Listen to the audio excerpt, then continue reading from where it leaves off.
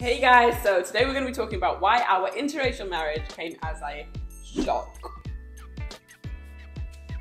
Now, some of you might be thinking, What interracial marriage? and that's because to some of you, you might just look and see a black couple.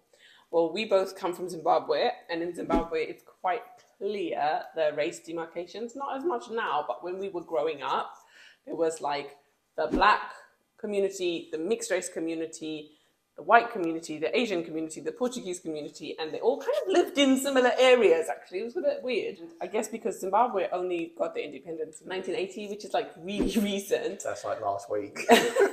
exactly. Um, and so for a long time, we were still um, under British colony, and unfortunately, huge amounts of racism were rife in the country. For me, I grew up in a kind of family environment that was racist, unfortunately. So for me, as a child growing up, I grew up in a very, um, I was very aware of the of there being different races. Okay. and that's because of how my my parents' narrative, or mostly my dad's narrative to me, um, about race and about being mixed race and about being fair skinned as well um, was like actually if you're fair skinned you're more privileged or you're gonna get far in life you and know slightly better than. slightly better than darker people um, or full black people because in Zimbabwe at the time unfortunately not all not all but most especially people coming from the poorer less um, financially privileged um, communities were treated, they were treated badly. And so I guess for him, it's like his vision for my life was that actually if she marries white, she's going to be right. And that's, Go exact- up the ranks. That's exactly the statement I used to hear as a child.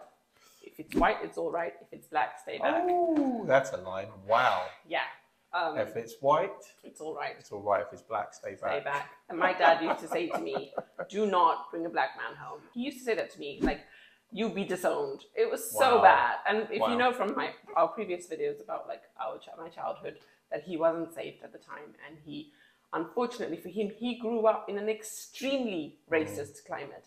His grandmother, um, who was mixed race as well, so my whole family is pretty much mixed race. you go back three generations before you get a full whatever person. My great great great grandfather pure blood. a pure blood. My great great great grandfather is Greek, If there's anything like that nowadays, pure blood. But anyway, and he married a black woman. Then they had mixed race babies. They married mixed race people who are mixed from whatever other race. And then For on- generations. for generations, that's my dad's side. My mom's side is like great great grandmother had a baby with a black woman, produced my grandfather. Same thing with my grandmother. Then they produced my mother. So it's one of those things like families mixed for generations, guys. Mm-hmm.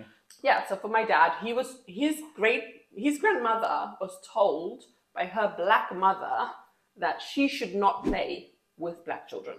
That Wow. she should only play with white children. Um, because So she can go up the ranks. Exactly. So she can go up the ranks. So then she, my great my great grandmother, now entrenches that into my dad, and then tells him not to play with black children, uh, black children, and not to marry black women. Blah blah blah blah. She was so annoyed when he married my mum, who is um, darker than me, because to her he basically is marrying a black woman, and that's not okay. Um, and so when I then bring home this guy. Mom, this is John. Doc, doc, Dr. Prentice. I'm so pleased to meet you. I'm pleased to meet you, Mrs. Drayton. I take it Joanna's already busted out with the big news. Well, she has, um, t- told me a good deal, and all very quickly, too. it's a huge problem. So by this point, Pretty much like the movie. Guess who's coming for dinner? Let's go to see if you or Mrs. Drayton would have any objections if we got married. exactly.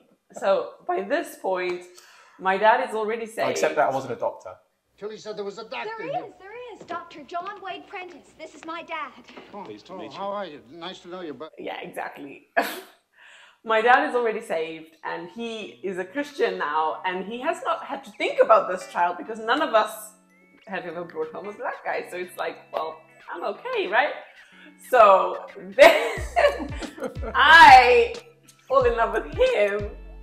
And oh my gosh, guys, you'll have to find out what happens in the next video. Our family's reaction to us being an interracial couple. Yeah. You don't want to miss that. Click.